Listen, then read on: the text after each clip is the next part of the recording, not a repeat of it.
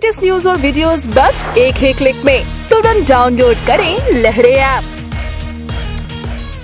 वास्तु शास्त्र की माने तो धन संबंधी समस्याओं का असल कारण आप ही के घर में मौजूद होता है, जिसे हम अक्सर अनदेखा कर देते हैं।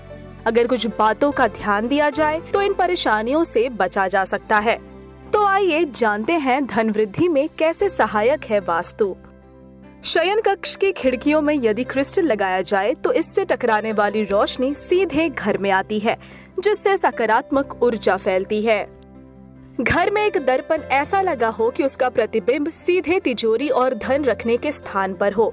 यह वास्तु टिप अपनाने से संचित धन में वृद्धि होती है।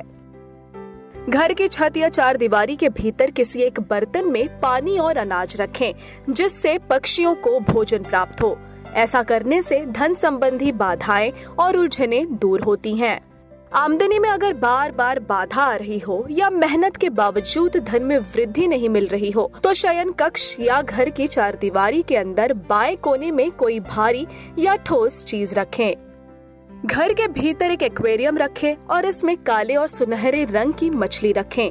एक्वेरियम घर में मौजूद नकारात्मक ऊर्जा को दूर करके सकारात्मक ऊर्जा को बढ़ाता है घर के प्रवेश द्वार को हमेशा साफ़ सुथरा रखें और उसके आसपास की दीवारों पर रंग करवाते रहें।